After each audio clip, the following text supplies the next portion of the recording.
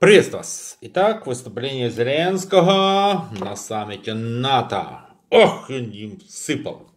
Ну, смотрите, он, в принципе, сказал все правильно. Да, я понимаю, что ваше мнение может быть разным. Он просто, что называется, поставил перед фактом. Или вы действительно реально помогаете, или прекращайте трандеть. Потому что, честно говоря, вот эти бесконечные дискуссии, обсуждения, мы хотим, мы не хотим, это несерьезно. Но вообще, по большому счету, действительно, НАТО это очень неудобный инструмент. Ну, много трандит, много говорит, такой забюрократизированный.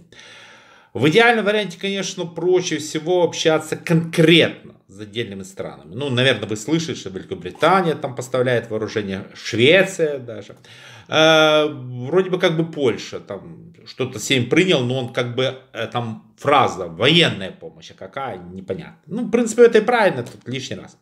США что же там обещает. Опять же, сейчас, понимаете, в принципе, наверное, правильно. Они меньше говорят конкретно что. Говорят, вот, поставляем все. Ну, это действительно более реально. Да, действительно, Украине на сегодняшний момент более целесообразно. Это не столько НАТО, сколько конкретные переговоры с конкретными странами. Но понимаете, в НАТО, как вам так объяснить, вот это вот принцип э, вето, когда одна из стран может наложить, в общем-то, вето на решение НАТО, это как польский сейм. Помните? Ну, это не, то есть получается там вылазит какая-то такая 30-степенная стоянка. Вот мы, мы против. Ты чё? А? По этой причине, да, на сегодняшний момент, я так понимаю, Зеленский абсолютно правильно сказал, ребят, давайте так. У вас есть вот вооружение, которое вы не используете, дайте нам. Вперед. Мы будем воевать. Логично, вполне логично, абсолютно. И да, действительно, это позволит как бы переломить ход событий. Вообще, по большому счету, еще раз повторю, что сейчас, ну вот если так посмотреть по официальным источникам, еще раз говорю, я не имею доступа к ним.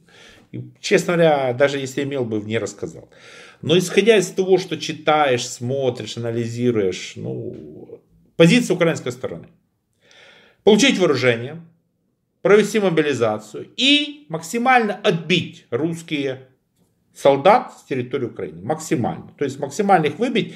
И тогда будет проще вести переговоры. Ну, вы не хуже меня понимаете, что одно дело, когда войска русские стоят возле Киева, переговоры одни, и другое дело, когда их выбросить подальше от Киева, не говоря уже от остальных городов Украины, тогда переговоры будут другие. Да, такая вот ситуация, и в принципе это вполне логично, вполне, так сказать, прогнозируем и так дальше. Да, вот такой вот момент. Ну, посмотрим. Посмотрим, насколько действительно это выступление придет к тому, что вооружение в Украине будет больше, больше, больше, больше и больше.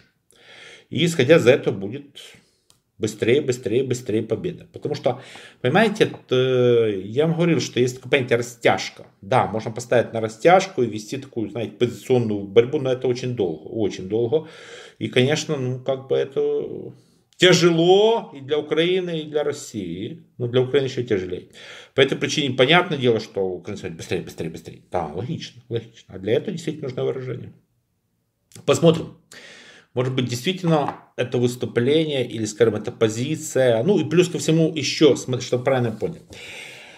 Была сегодня уже информация, причем я озвучил Кулеба, что мы ведем переговоры из там, Великобритании, США, Германия, ой, не помню, по-моему, Турция, ну, по-моему, все страны назову, ну, вот, чтобы создать некий такой эм, гарант безопасности Украины, то есть мини-НАТО.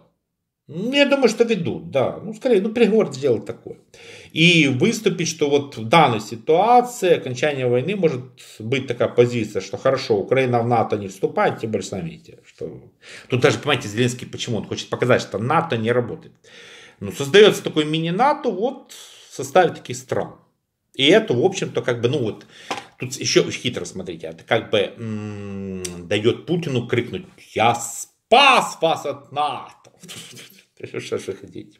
Так что такая ситуация работает. Что будет, посмотрим. Пока что, да, на сегодняшний момент стреляют от души.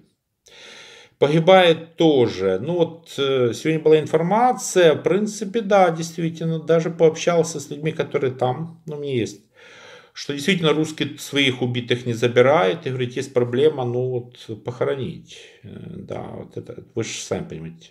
Почему не забирают, я понимаю. Путин очень боится, что когда трупы пойдут на, в Россию, люди начнут, а так типа, ну он где-то там на учениях. Да, нет, тут я превосходно я понимаю, что то, что действительно очень многих убили, это факт, а его ж пугать, ну как же так, мы же, там же такая армия.